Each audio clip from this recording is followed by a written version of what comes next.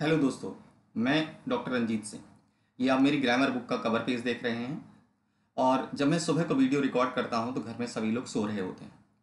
उस समय बहुत तेज़ बोलना अलाउड भी नहीं होता है और थोड़ा ठीक भी नहीं होता है, क्योंकि सभी जाग जाएँगे, सबको अपनी थोड़ी देर के बाद जाकर ड्यूटी जाना होता है। तो मैं धीमे धीमे बोल कर अपनी बात को कह लेता हूँ। अगर आप ईयरफोन्स यूज़ करेंगे तो निश्चित ही आपको मेरी बात समझ में आएगी। तो दोस्तों, ये ग्रामर की बुक का कवर पेज है और इसी बुक से मैंने आज आपको बताया है कि आपको एडजेक्टिव का चैप्टर तैयार करना है। तो दोस्तों एडजेक्टिव के चैप्टर में क्या क्या कंटेंट है वो आपको मैं शो कर रहा हूँ ताकि आप अच्छे से समझ सकें, अच्छे से पढ़ सकें, अच्छे से तैयार कर सकें। और जिनके पास बुक अवेलेबल हो गई है, वो अपनी बुक से पढ़ें। और बहुत सारे स्टूडेंट्स जिन्होंने ऑनलाइन ऑर्डर कर रखा है थ्री से फोर डेज़ में डिलीवरी है, जिनकी बुक नहीं पहुँची है, उनकी बुक आज बिल्कुल ही उनके पास पहुँच जाएगी। तो आप एकदम निश्चिंत रहें। अब मैं आपको कंटेंट दिखाता हूँ एडजेक्टिव के चैप्टर के। दोस्तों, ये एडजेक्टिव का चैप्टर है मेरी इस ग्रामर की बुक से। आप इसको बहुत अच्छे से पढ़ लेंगे। एडजेक्टिव की डेफिनेशन दी हुई है रैन मार्टिन ने क्या कहा है विकीपीडिया ने कहा है एडजेक्टिव क्या होता है पोजीशन क्या होती है एडजेक्टिव की, आप जानते हैं नॉर्मली ये उस नाउन से पहले आता है जिसको ये क्वालिफाई करता है। लेकिन इसकी पोजीशंस कुछ अलग अलग भी हो सकती हैं, जो कि बाद में डिफाइन किया गया है। एडजेक्टिव्स कितने प्रकार का होता है? तो बेसिकली दो तरीके का डिस्क्रिप्टिव एंड रेस्ट्रिक्टिव डिस्क्रिप्टिव में केवल एडजेक्टिव ऑफ़ क्वालिटी आता है, बाकी सभी रेस्ट्रिक्टिव एडजेक्टिव्स होते हैं। तो वो सारे दिए हुए हैं यहाँ पर। इसमें एडजेक्टिव ऑफ़ क्वांटिटी है एडजेक्टिव ऑफ़ नंबर है डिमॉन्स्ट्रेटिव एडजेक्टिव है इंटेरोगेटिव है एम्फेसाइजिंग है एक्सक्लेमेटरी है। दोस्तों, पिछली बार इन्हीं में से क्वेश्चन पूछे गए थे। यहाँ पर जो अंडरलाइन है, ये लाइन यही लास्ट ईयर पूछा गया था टी जी 2016 के एग्ज़ाम में।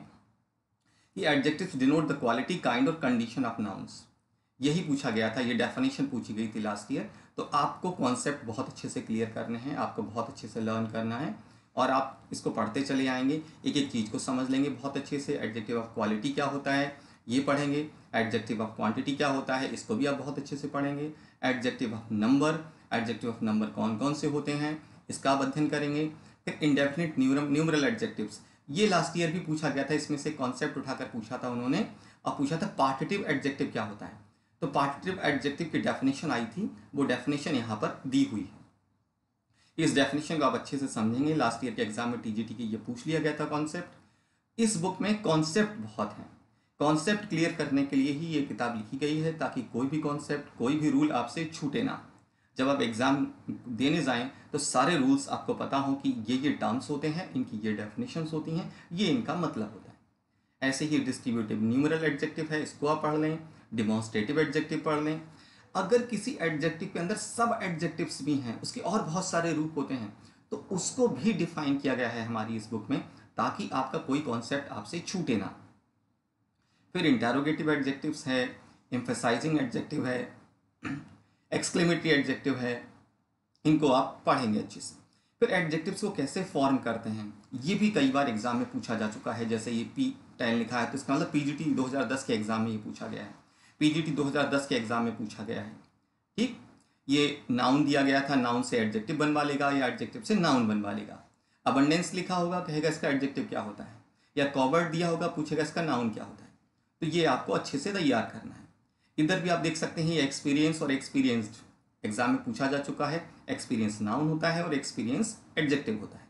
तो आप इस चीज़ को अच्छे से पढ़ाई कर लेंगे, अच्छे से समझ लेंगे। बॉब से एडजेक्टिव कैसे बनाते हैं? ये भी कई बार एग्ज़ाम में पूछा जा चुका है तो आप इसको अच्छे से पढ़ लेंगे और समझ लेंगे। एडजेक्टिव के ही दो रूप होते हैं तो ब्लैक भी एडजेक्टिव होता है और ब्लैकिस भी एडजेक्टिव होता है। ये भी आप एक अच्छे तरीके से समझ लें।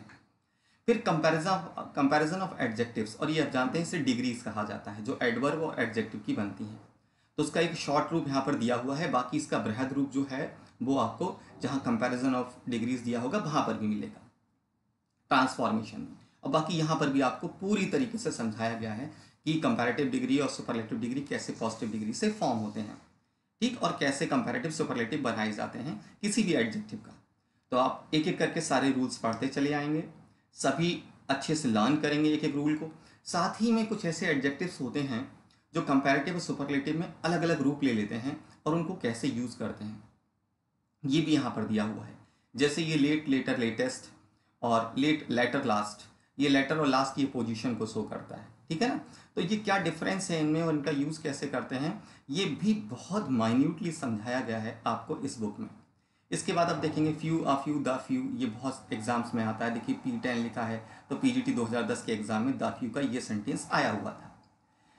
फिर लिटिल अ लिटिल और द लिटिल इनमें क्या डिफरेंस है? इसको आप अच्छे से पढ़ लेंगे। आप बहुत समझदार हैं, अगर आप पढ़ लेंगे तो आप बहुत सारी चीज़ें समझ जाएँगे अपने आप ही। फिर फार्दर और फर्दर इनमें क्या डिफरेंस है? इनका कंपैरेटिव और सुपरलेटिव कैसे बनता है? नियरेस्ट और नेक्स्ट इनमें क्या डिफरेंस है? इनका कंपैरेटिव सुपरलेटिव कैसे बनता है? ईच एंड एवरी इनका यूज़ कैसे होता है? ये सारी चीज़ें यहाँ पर समझाई गई हैं। सम और एनी का यूज़ कैसे होता है, ये भी यहाँ पर समझाया गया है। सम का यूज़ कहाँ कहाँ होता है, एनी का यूज़ कहाँ कहाँ होता है। कोई भी ऐसा शब्द, कोई भी ऐसा कंजंक्शन कोई भी ऐसा वर्ड छोड़ा नहीं गया है जिसको आपको डिफाइन ना किया गया इस बुक में। इसके बाद आपको सारे एनी और सम के सारे यूजेस दिए गए हैं विद एग्जाम्पल्स फिर फ्यूअर और लेस इनका यूज़ कहाँ कहाँ होता है। नो लेस देन का यूज़ कहाँ होता है। मच और मैनी का यूज़ कहाँ कहाँ होता है। फिर आर्टिकल्स का चैप्टर आ जाता है एडजेक्टिव में ही, क्योंकि ये भी एडजेक्टिव का पार्ट ही होता है, ये आर्टिकल्स भी नाउन से पहले ही आते हैं। फिर ये नाउन से पहले आने वाले आर्टिकल्स का चैप्टर है, इनको आप अच्छे से पढ़ लेंगे। आर्टिकल ए एन दी और ए और एन का यूज़ पढ़ लेंगे आर्टिकल द का यूज़ पढ़ लेंगे, बहुत अच्छे से। इसमें जो लिखा है टी थर्टीन तो दो हज़ार टी जी टी दो हज़ार तेरह के एग्ज़ाम में ही आया था। और इसमें आ जो था, इसको आपको फिल करना था फिल इन द ब्लैंक्स में। ठीक है? इस तरीके से इसमें सारे रूल्स दिए हुए हैं आर्टिकल धा से संबंधित। फिर लास्ट में आप आ जाएँगे। तो ओमिशन ऑफ़ आर्टिकल धा के बारे में भी बताया गया है। और रिपीटेशन केस ऑफ़ आर्टिकल्स कई बार आर्टिकल्स को रिपीट कर देते हैं आप। कहाँ कहाँ रिपीट होता है कहाँ कहाँ नहीं होता है, उसके क्या रूल्स हैं, वो भी यहाँ पर बताए हुए हैं। तो इनको आप बहुत अच्छे से तैयार कर लेंगे। तो दोस्तों, इसके कंटेंट्स मैंने आपको शो कर दिए हैं। बुक के। आप इन कंटेंट्स को देखकर खूब अच्छे से स्टडी कर लेंगे। जिनके पास बुक मिल गई है, वो बुक से स्टडी करेंगे। जिनको बुक नहीं मिली है, वो इस वीडियो के थ्रू स्टडी करेंगे। So thank you friends thank you very much दोस्तों लाइफ बहुत बिज़ी है। उम्मीद है आप सभी अपनी लाइफ में बहुत बिज़ी होंगे। एक मोमेंट भी अपना ख़राब नहीं कर रहे होंगे। So thank you friends thank you very much